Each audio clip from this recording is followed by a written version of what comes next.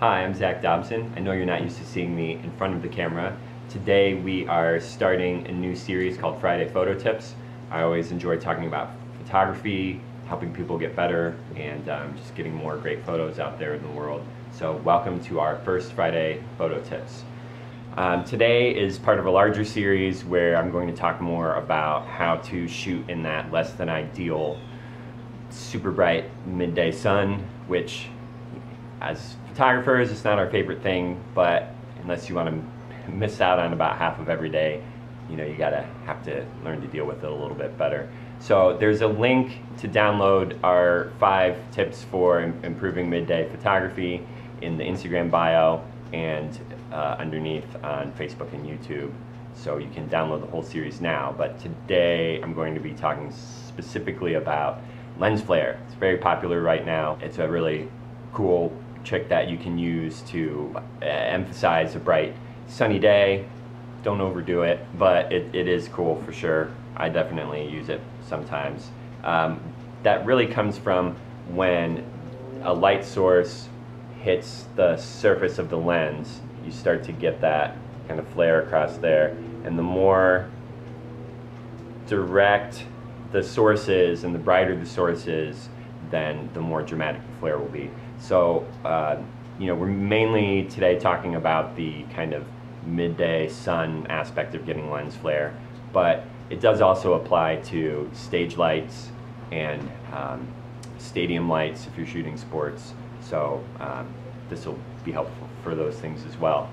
So um, wide angle lenses are a little more susceptible to that because you've got that larger surface area that it can hit. Um, you can also get kind of more subtle flare with a wide angle because um, it's not coming at such a harsh um, angle to get to the lens there.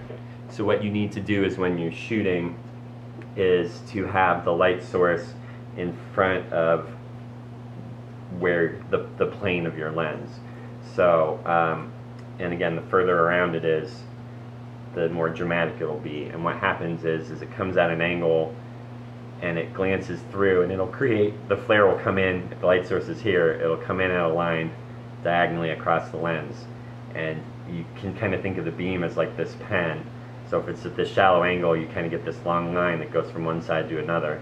As it comes around, further out in front of you and lower, it comes in at a, at a sharper angle.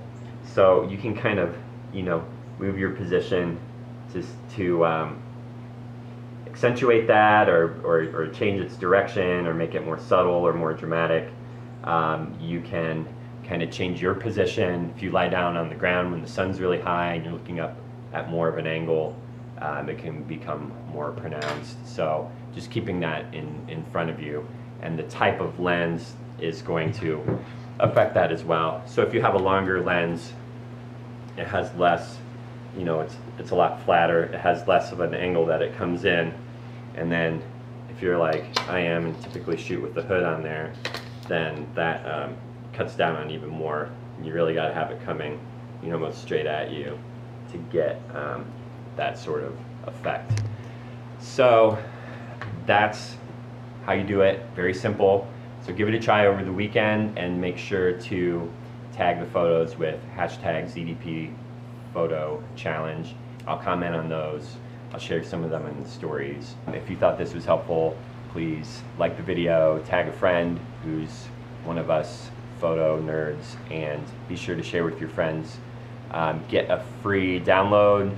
You can get it through the blog. I've got a post up there about this um, topic, and um, also again in the bio, Facebook, YouTube, all that stuff. So I will see you next week with our next Friday photo tip. Until then, keep it real.